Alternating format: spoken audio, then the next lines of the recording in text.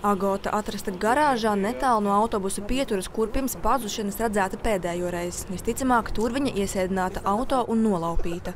Atbrīvošanas operāciju un nolaupītāja aizturēšanu veica pretterorisma vienība. Tas esot bijis komplicēti, jo likumsargiem bija informācija, ka vīrietis ir bruņots. Un tā kā garāža bija pielāgota dzīvošanai, policija uzsver, ka izmeklēs, vai aizdomās turētais nav pastrādājis līdzīgus noziegumus, jo visas pazīmes liecina, vīrietis nolaupīšanai gatavojies rūpīgi.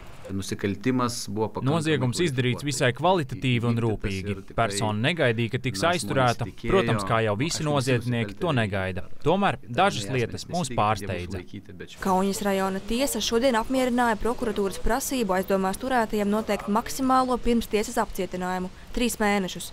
Kā norāda Kaunas apgabala prokurors Rimants Bradūns, aizdomās turētais kādu laiku varētu būt dzīvojis šajā garāžā, turklāt viņam bijusi arī ieroču turēšanas atļauja.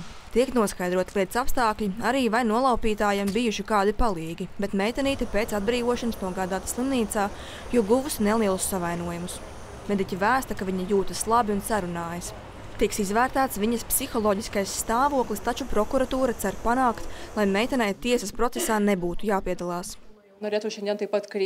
Vēlos lūgt respektēt bērnu un viņa ģimenes privātumu un labklājību. Ir ļoti svarīgi izņemt bērnu fotogrāfijas no sociālajiem tīkliem. Tas ir svarīgi bērnu nākotnē.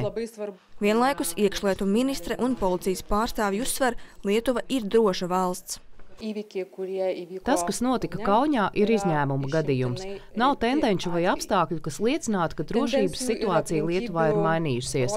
Vairumā gadījumu, 99% gadījumu, kad bērni ir pazuduši, tie parādās divu vai trīs dienu laikā. Parasti bērni tiek atrasti pie saviem draugiem, radiem vai tirzniecības centros.